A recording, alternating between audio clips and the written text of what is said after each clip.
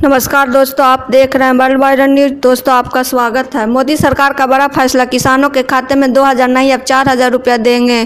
प्रधानमंत्री किसान समिति निधि योजना के तहत किसानों के खाते में दो हज़ार रुपये नहीं, बल्कि चार हज़ार रुपया आएँगे। मोदी सरकार ने किसानों को पैसे देने के प्लान में बदलाव किया है। कृषि मंत्रालय के एक अधिकारी ने बुधवार को यह जानकारी दी है कि अधिकारी ने कहा कि कर्नाटक, आंध्र प्रदेश, गुजरात और महाराष्ट्र जैसे कई राज्यों ने भूमि रिकॉर्ड की डिजिटल कर दिया है। तेलंगाना, उड़ीसा और झारखंड के पास भी आंकड़े हैं क्योंकि इन राज्यों ने भी इसी तरह की योजनाओं की घोषणा की है। पीयूष गोयल ने प्रधानमंत्री किसान सम, सम्मान निधि नामक प्रत्याश आय सहायता योजना की घोषणा की है कि जिसके तहत लगभग 12 करोड़ किसानों को प्रति वर्ष छः हज़ार एकड़ रुपया का भुगतान किया जाएगा। यह धन धन सीधे उनके बैंक खातों में तीन किस्तों में दिए जाएँगे। तो इस वीडियो को लाइक करें शेयर करें इस चैनल को सब्सक्राइब ज़रूर कर लें। वीडियो देखने के लिए धन्यवाद।